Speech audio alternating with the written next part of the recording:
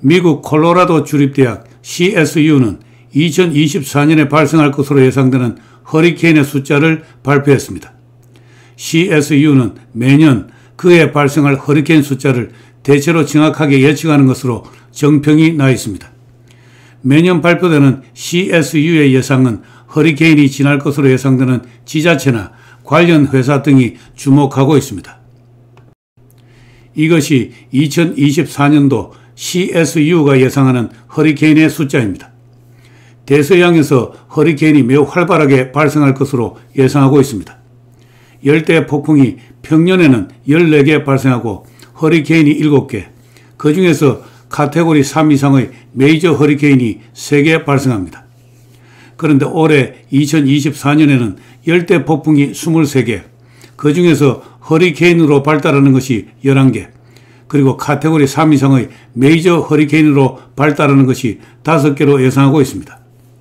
작년 2023년에는 열대 폭풍이 20개 발생했고 그 중에서 허리케인이 7개, 메이저 허리케인이 3개 발생했습니다. 그 중 하나인 메이저 허리케인 이달리아가 플로리다에 상륙했습니다. 아시아 지역의 태풍과 허리케인은 풍속이나 풍속 측정 기준이 다릅니다. 그래서 직접적인 비교는 어렵지만 대체로 대서양의 열대 폭풍이 아시아의 태풍에 해당합니다. 허리케인이 태풍 중에 해당하고 카테고리 3 이상의 메이저 허리케인은 태풍 강 또는 매우 강에 해당합니다. 미국에서는 열대 폭풍부터 이름을 붙입니다. 아시아에서는 태풍부터 이름을 붙입니다. 한편 올해는 아시아의 태풍 발생 수에 대한 예상이 아직 나오지 않고 있습니다. 태풍은 평년에는 연간 25.1개가 발생합니다. 작년에는 일본의 기상 전문 포털 웨더 뉴스가 태풍 예상 숫자를 발표한 바 있습니다. 웨더 뉴스는 태풍이 29개 발생할 것으로 예상을 했습니다. 그런데 그 예상은 크게 빗나갔습니다. 작년 2023년은 결과적으로 태풍이 17개 발생에 그쳤습니다. 태풍이 매우 적게 발생한 해로 기록이 되었습니다. 태풍이 적었던 작년에는 4월, 5월, 6월에 태풍이 하나씩 발생했습니다.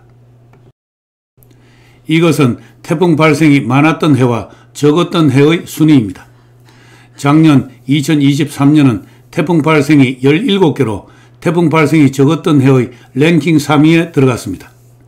웨더 뉴스는 29개로 예상했는데 결국 17개였습니다. 그래서 그런지 올해는 웨더 뉴스에서 아직까지 예상 태풍수를 발표하지 않고 있습니다.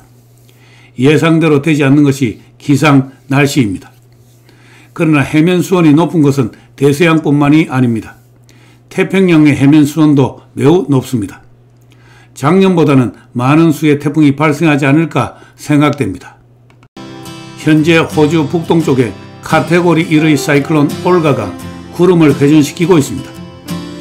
그러나 태풍의 둥지라고 할 수 있는 북반구 필리핀 부근 해역은 현재 조용합니다. 아직 구름이 모여들 기미는 보이지 않습니다. 그러나 해면 수온이 충분히 높은 만큼 일단 구름이 모여들면 빠르게 태풍의 소용돌이가 만들어질 수 있습니다. 올해는 어떤 태풍이 어떤 스토리를 만들어낼지 조금 더 기다려봐야겠습니다.